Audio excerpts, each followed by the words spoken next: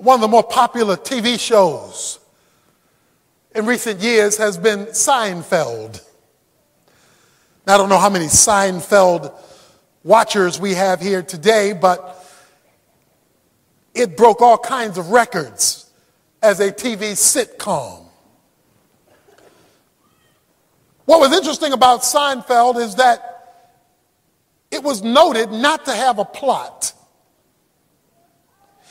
That is, nothing connected with anything. You know, he would show up and start off with this kind of gag routine and go on to the show, and nothing seemed to have much to do with anything. It was a plotless sitcom. And it went to the top of the charts. They were analyzing why Seinfeld was so popular, and it was concluded that Seinfeld was popular because the folk watching it were in the same situation as the sitcom. Plotless, no clue, aimlessly going from situation to situation, sitcom. Going from one day to another day, one job to another job, one place to another place, without rhyme or reason, unconnected. Most Christians today are living decaffeinated lives. All the lead is gone. And like a hamster on the wheel, ever moving, never arriving anywhere. I don't know how many Sunday drivers we have here. People who simply like to get on the road and just drive. You don't really, you're not really going anywhere. You just want to drive. It's a pretty day. Let's go riding. Well, I'm, I'm, a driver. I love to drive, but, but even I must admit, after a while, that gets old. Because you're not going anywhere. You're just out there. Far too many of us are living lives like the flicker of a candle rather than the blazing of the noonday sun. meandering, no brilliance, no significance. We don't really feel that we matter that much because there is no sense of ultimate purpose, destiny, or the word we're going to use in our series, calling. Your calling may be defined as the customized life purpose God has ordained for you. The customized life purpose God has ordained for you to accomplish in order to bring him the greatest glory and the maximum expansion of his kingdom. Your calling, your reason for being, is your customized life purpose, which God has ordained for you and you alone to accomplish, which is designed to bring Him greatest glory and the maximum expansion of His kingdom. There are three things I want to say about this definition of calling which has to do with your purpose for being. First of all, it is a created purpose. Purpose, calling, it's your reason for being. It's the reason why you were made. You were made to fulfill your calling. A car is not fulfilling its calling if it doesn't run. A piano is not fulfilling its calling if all the strings are broke and there is no tune coming out. It's not fulfilling the purpose for which it was produced. It's there, but it's not doing anything, or certainly not doing its ordained thing. To live life without purpose or calling is to be like the Dead Sea over in Israel. No life there. It's death. Fish can't swim in it. You can't swim in it. You get the salt in your eyes, it'll burn you. It is a lifeless existence because it is not fulfilling its purpose. You see, you can't flow out of the Dead Sea. It's the lowest point on planet Earth, and, and water runs in it. It just has nowhere to go. Far too many of us are living Dead Sea kind of lives. No outlet, no progress, perpetual stagnation, no calling. God did not create you for fun. He created you for purpose. He didn't just look up one day and said, oh, I'm bored. Let me come up with something to do today.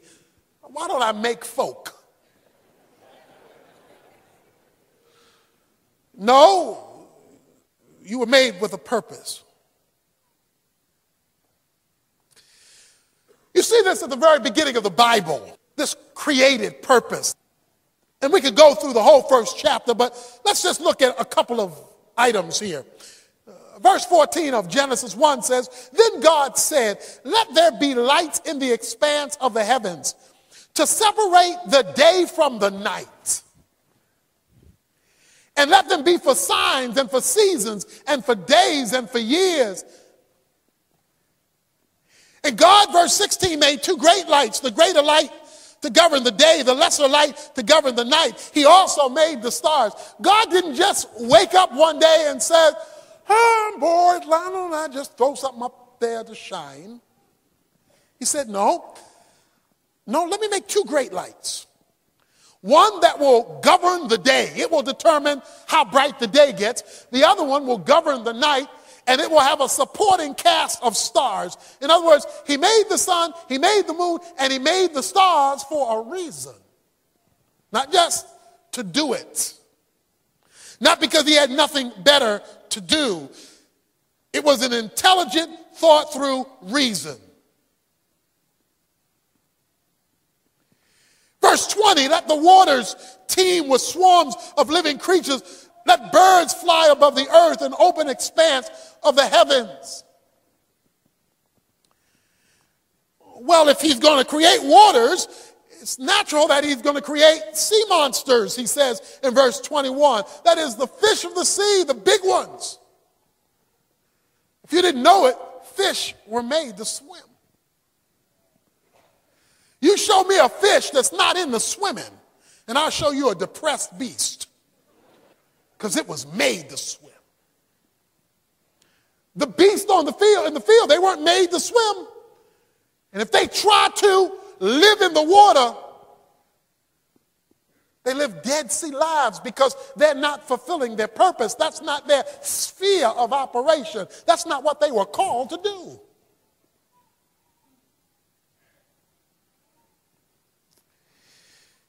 He says about man, In verse 26, let us make man our own image according to likeness and let them rule over the fish of the sea, birds of the sky, the cattle of the earth, and all the creeping things. And God created man in his own image. He says in verse 28, be fruitful and multiply, fill the earth and subdue it. He doesn't just say, let us make man. He says, let us make man because we have something for him to do. Not, not, not just be there, not just meander around, not just go around and notice how beautiful the animals are and how wonderful it is to float on the water, there has got to be more to life than this. Most of us spend a lot of time making a living, not a lot of time making a life.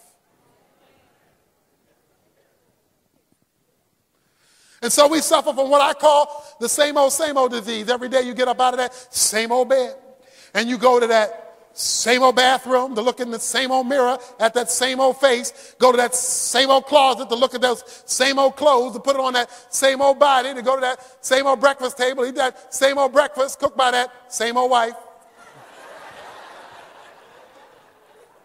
You know, you get in the same old car and go to the same old work, down that same old road, work next to them same old people for that same old pay, doing that same old job. Then you go back down that same old road, into that same old house, hear that same old noise from those same old kids.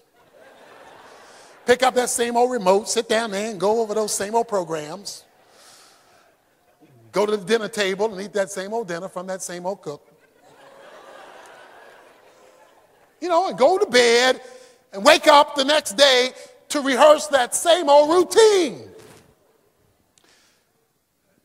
And there's nothing wrong with routine if it's tied to purpose. But if it's routine tied to nothing, you wind up like Dionne Warwick raising the question, what's it all about, Alfie?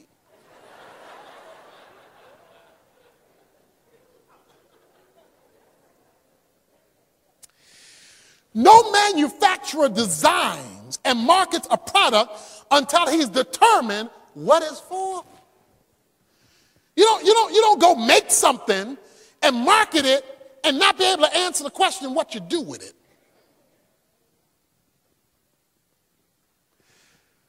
But when you live your life raising the question, why am I here? That question, however you phrase it, that's a question of purpose. It's a question of calling.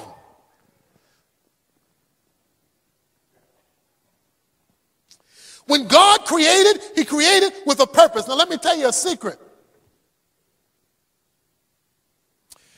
The created thing cannot tell you, watch this, its purpose until its creator tells the created thing what its purpose is. Uh, come on, let's do an exercise. Everybody here sitting on a pew, right? Ask that pew what it's here for. Go, don't look at me. Ask the pew what it's here for. That pew has no knowledge of its reason for being. That's determined by somebody else. I'm talking to you over a microphone right now. If I were to ask the mic, Mike, why are you here? The mic couldn't tell me. It was the creator of the mic that says why the mic is here. One of the reasons we can't find our calling is because we're trying to tell ourselves why we were called. That was deep, man, that I think about it. we're trying to self define our calling. A calling assumes a caller. If the phone is ringing, somebody else is calling you.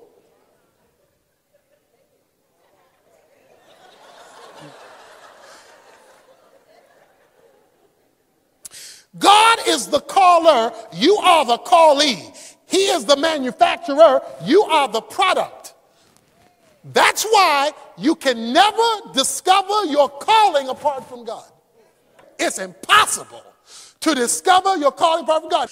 But far too many of us are functioning outside of our divinely ordained reason for being, or we're not functioning in it at all, which means we are existing. And when you exist, you have to create callings. You have to make stuff up. Now, when you get a bunch of folk who don't know their calling living in the same house, you got a miserable place to live. Because he don't know why he's there. She don't know why she's there. So that already inner frustration, you put on top of that just the regular trials and tribulations of life. There is nothing that is calling them that is bigger than who they are. The successful single versus the defeated single is the distinction between the called one and the one who does not know their calling. The one who does not know their calling thinks all of life is wrapped up in that man or woman they have not yet found and God has not yet supplied. The one who is not frustrated, still desiring, but not frustrated, is because they have been called to something bigger that no other person can fix for them. They are into something so much bigger.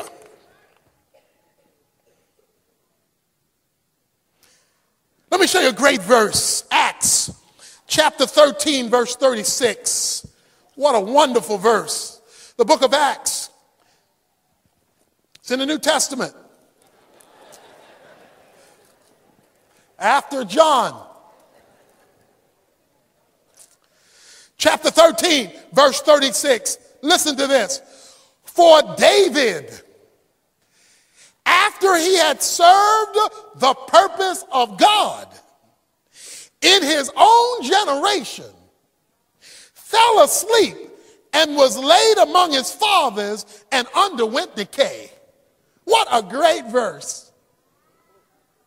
You say, I don't see nothing great about that verse. That verse say the man died, became worm food, underwent decay. One, he didn't die until he had completed his purpose. What a horrible way to die, never knowing why you showed up in the first place. What a horrible thing to do to live 75, 80, 85 years and all you can talk about is your job. In fact, we got folk in 30 and 35 years old who all they can talk about is retiring from their job. Because you hate to get up in the morning. You hate where you're going when you get up in the morning. You hate the people you're going to see when you get there because they got up in the morning like you did. It's just one miserable thing. What is missing? Your calling.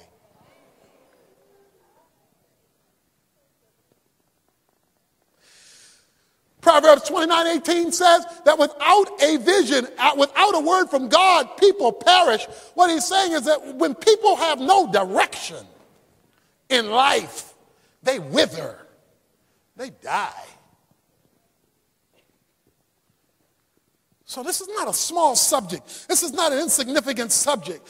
God said of Jeremiah in Jeremiah 1 5, while you were in your mama's womb, I called you. Boy, that's great news that God calls in advance.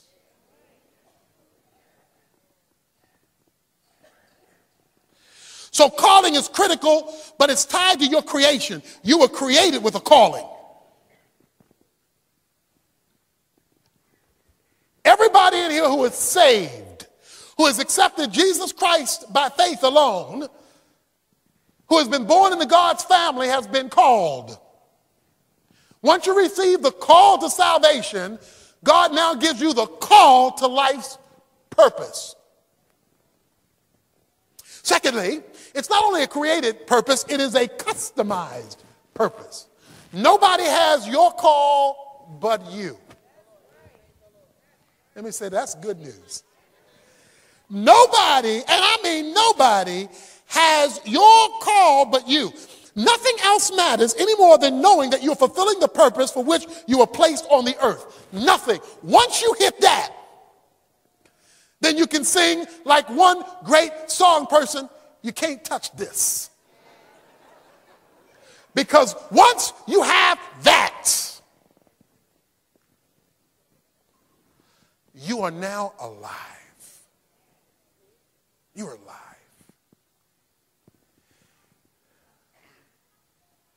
I am never more alive than when I stand up here. I had a sister tell me, she said, you sure come to life up there. I, I was thought, now, what you, what you trying to say? I'm a boring person down there, maybe? That's because this is my calling. I used to preach on street corners in front of bus stops in Atlanta, Georgia. So I wait for folks to gather at the bus stop, and I stand up in the front of the bus stop and start preaching. You must be born again. Every Friday night, I'd lead a group of students out in college, and I'd preach, you must be born again. Same sermon, because that's all I knew. but I was called.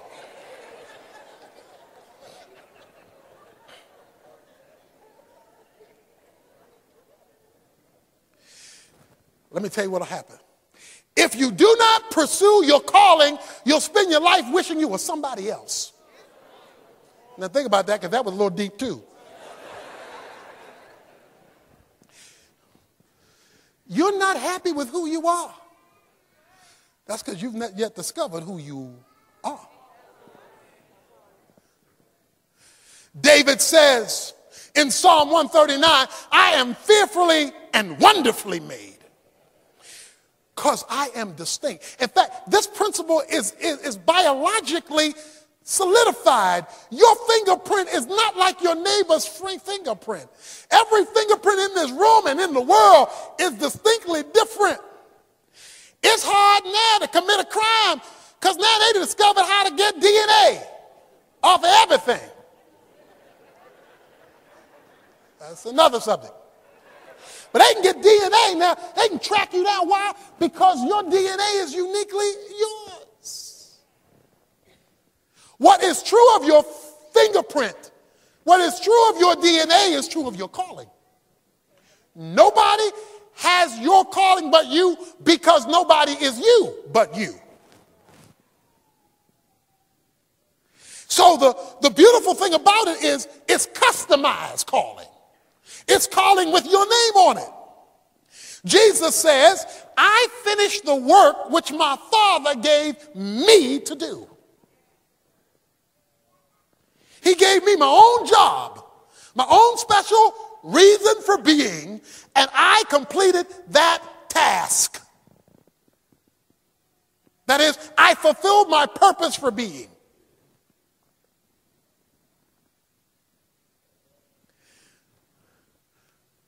My wife wrote a book, uh, her first full single book, Seasons of the Woman's Life, and some of it's drawn from Esther. And of course, Esther's key statement is in chapter 4, where Esther is a beautiful woman. She's a fox. She's a bad mamma jamma. She's, you know, she's, she's got it all together. And her beauty causes her to be selected by Ahasuerus as his new bride. He saw her and said, Oh, shoot, whoa. And he takes her. So she gets all comfortable in the king's house because she now living large. She in the big house.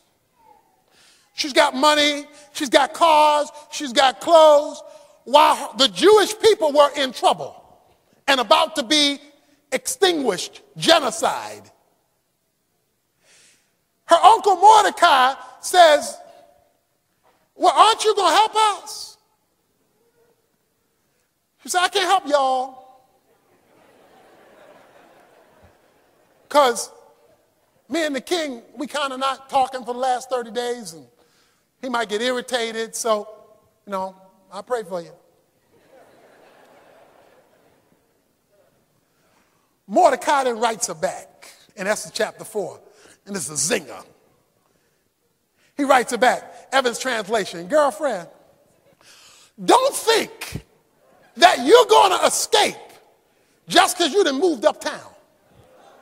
So don't think just because you moved uptown now you, you're not in the hood no more. You're not living with the rest of us anymore. That somehow you have escaped all this. Because when the hammer comes down and they find out who you are, you're going to be just like the rest of us. Secondly, don't think that God can't do this without you. Because if he can't use you, he'll call somebody else. All right? But then after hitting her with the negative stuff, he hits her with this positive line. The positive line is this. Have you ever considered, girlfriend, that you have been called to the kingdom for such a time as this? Have you ever considered God made you pretty so that Ahasuerus would fall in love with you because he knew the Jews were going to be in trouble. And so he wanted to have one of his people in a strategic position at the right time to fulfill their calling for a greater purpose than you just being able to shop and customize your wardrobe.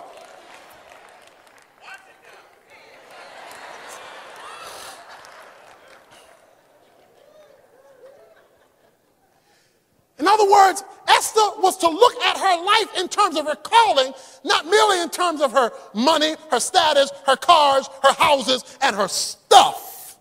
She was to look at it in terms of her reason for being called to the kingdom for such a time as this.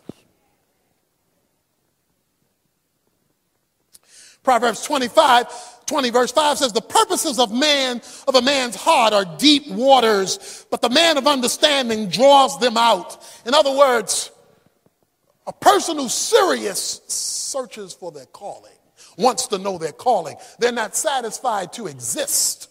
They want to know why they're existing.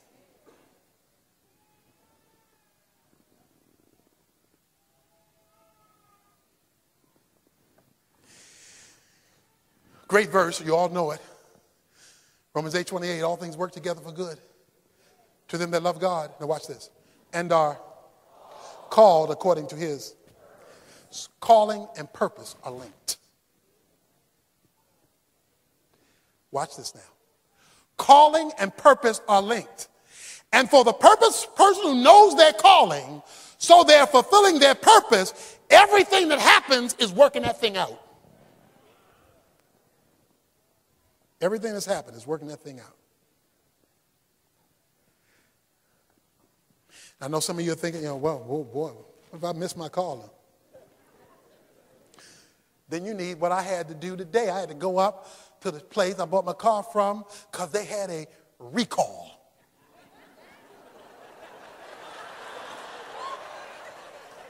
That's right. Something wasn't right on the door, so they recalled it. That's called grace. Grace is when God recalls you. But that's a whole nother message whenever I get to that. All right.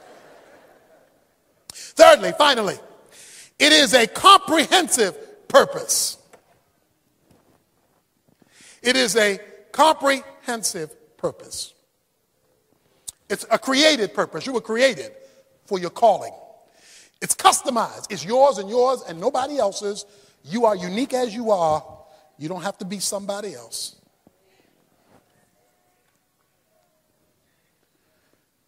Why would you want to be somebody else, by the way? God already has one of them.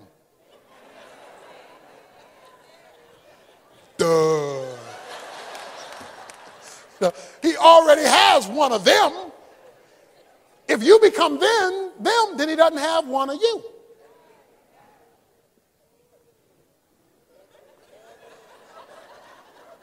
I, I, think it's deep, I don't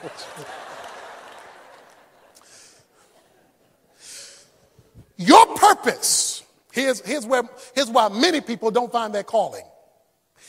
Because their calling is not linked into anything bigger than themselves.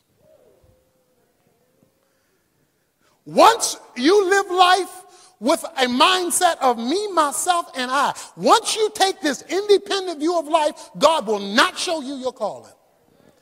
Because he has called you to something bigger than you. If you have a piece of a puzzle, it is therefore incomplete. If you only have one piece of a puzzle and don't have the puzzle, it's incomplete because that piece belongs to something bigger. Until that individual piece of the puzzle can be related to something that is bigger, it loses its significance. You got a piece of puzzle over here and it's not tied to the puzzle, that piece, no matter how pretty the picture is on the cardboard, is insignificant. Why are so many of us feeling insignificant? Because we're pieces without a puzzle. And we get all hyped because we're a pretty piece. My piece is prettier than your piece, you know. What matter? What does it matter with all these pieces of a puzzle sitting out in front of me if they never connect? You still don't have a picture. It loses its significance. Many Christians are like puzzle they're beautiful cardboards, but they don't see the picture. What's the picture? What is this bigger thing God has called all of us to? All of us to. I said in the definition. It is the maximizing of God's glory and expansion of his kingdom. That's it. That's it. If you are a Christian, whatever you are called to do will achieve those things. Let me say that again. Whatever, whatever, whatever, whatever, whatever God calls you to do will give him greater glory and will expand his kingdom in history. The Bible says in Romans 11 36 that all things are to him and through him and for him. To him be the glory that men may see your good works and glorify your Father who is in heaven. I can tell you now, if you are a secret agent Christian, God won't tell you your calling. Because that means he won't get more glory from your life. And if your purpose is not tied into the expansion of his kingdom. Now, what is God's kingdom? God's kingdom is his master plan. God's kingdom is his comprehensive rule over all of his creation. To be involved in your calling means that the presence of God is being manifested to a greater degree because you are fulfilling your calling. Now, let me tell you, here's where we get mixed up, and it's preacher's fault on this one. It's, it's, it's a preacher's fault. Because we have limited the word calling to professional ministerial occupation. In other words, called to preach. Or call, God has called me into the ministry. Okay? That language messes stuff up.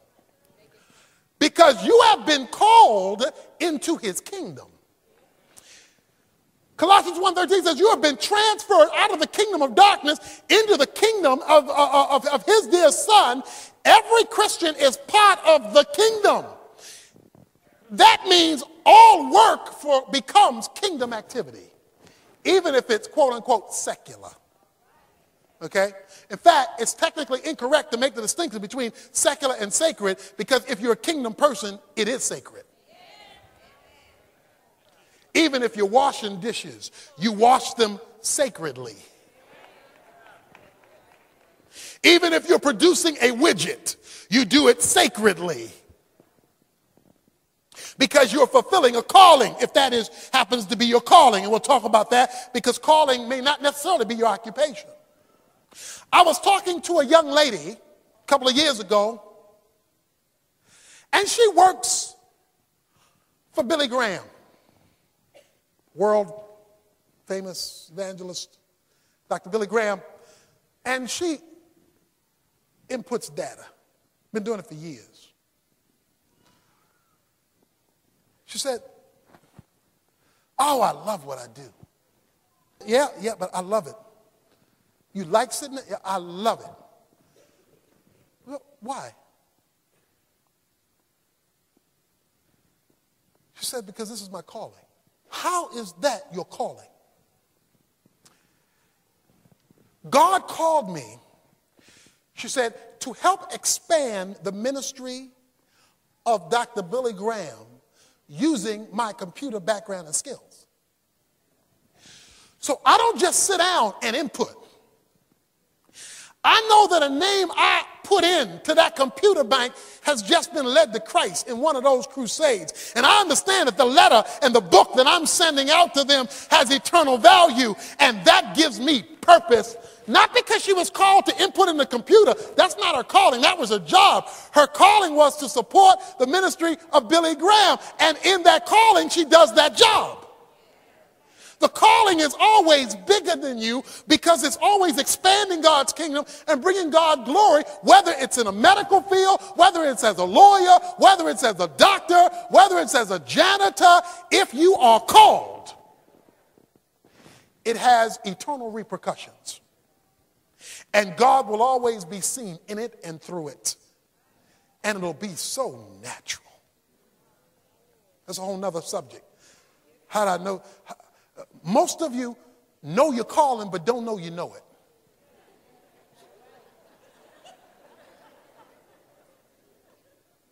And I, will give you a little down payment right now.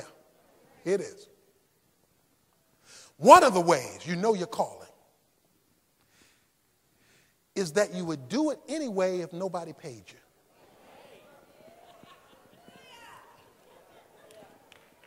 If nobody ever gave you a dime to do it, you'd still do it because it's like Paul, woe is me if I don't.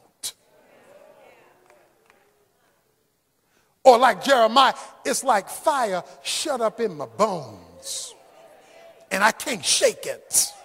It burns me. It sets me aflame. Now, watch this now. Watch this. My time is running out. Watch this now. Because it's kingdom, it always involves discipleship. The kingdom of God is God's comprehensive rule. The process of discipleship is bringing people in line with that comprehensive rule. So therefore, if you are a kingdom person fulfilling your calling, those around you who you affect, you will infect with this kingdom worldview because it's gonna, it's gonna rub off on them to some degree. Now, now watch this. When this happens, you will be part of the greatest coup d'etat in history.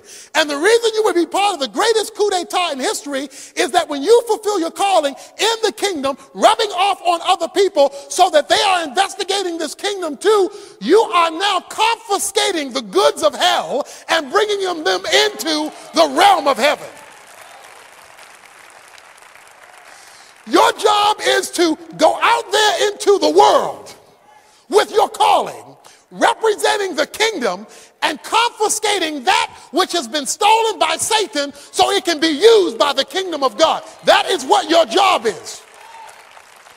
Do you know why the kingdom doesn't have more?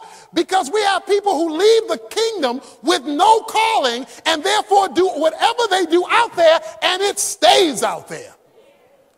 It never is harnessed for the kingdom of God. That's why Paul says in chapter 1 of Ephesians that God has done this that he might bring all things, the sum of all things, under the authority of Jesus Christ. We are his body and we are sent to be the fulfillment of all things that is everywhere. He calls people in every direction. You don't have to feel bad if you're not called to be a preacher, if you're not called to be a missionary. Certain people should be called and you won't be fulfilled unless you respond to that call. But God is also calling people to be entrepreneurs and he's calling people to be doctors and lawyers and engineers and he's calling people to be politicians and, and actors and actresses. And he's calling people to invade hell with the kingdom so that heaven grows.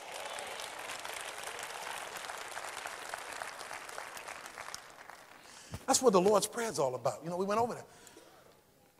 Our Father who art in heaven, I know who you are. You're my Father, and I know where you live, way up there. And so, because I know who you are and where you live, hallowed be thy name. So since your name is going to be hallowed, I got to reverse my, my, my plans so that thy kingdom comes. Which means I got to redo my life's plan so that thy will is done. Now, if I'm going to holler your name, service your kingdom, and do your will, then I'm going to need you to supply me the goods, the carbohydrates, the starches, and the fats so that I have enough physiological energy to holler your name, service your kingdom, and do your will. So why don't you give me today the daily bread I need to pull that off? And then because you want a pure vessel, forgive me for the things I've done against you as I forgive those who've done things against me. Because if I don't forgive those who've done things against me, you won't forgive me who's done things against you. And if you don't forgive me who's done things against you, you will not accept me hallowing your name, servicing your kingdom, or doing your will.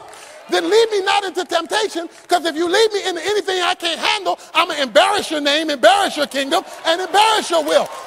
And the only reason I'm praying any of this anyway is because it has absolutely nothing to do with me. Thine is the kingdom, thine is the power, thine is the glory, forever and ever. Amen. You're part of something bigger. Something bigger.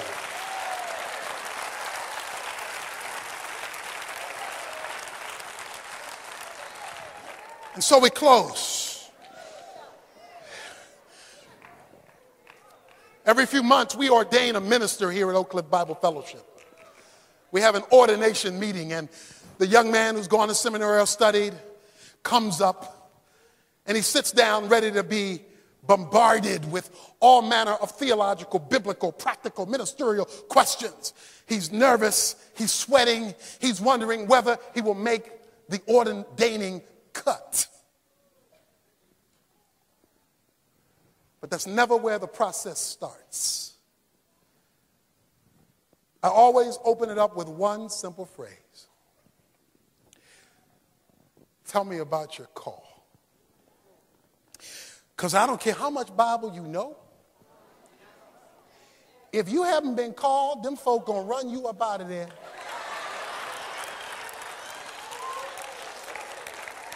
Show you right. Them folk gonna run you up. If you haven't been called, if I wasn't called, I wouldn't be here. you got to be called to deal with folk.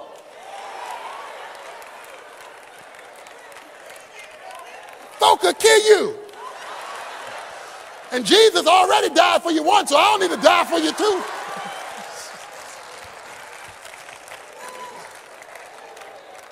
you got to be called.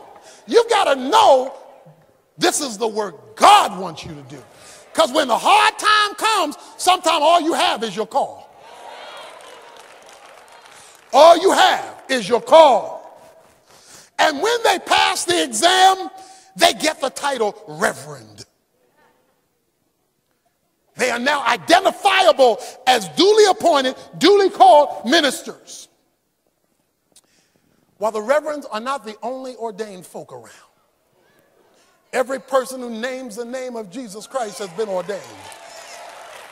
And you have the call of God on your life, or as the old folks put it, a charge to keep I have.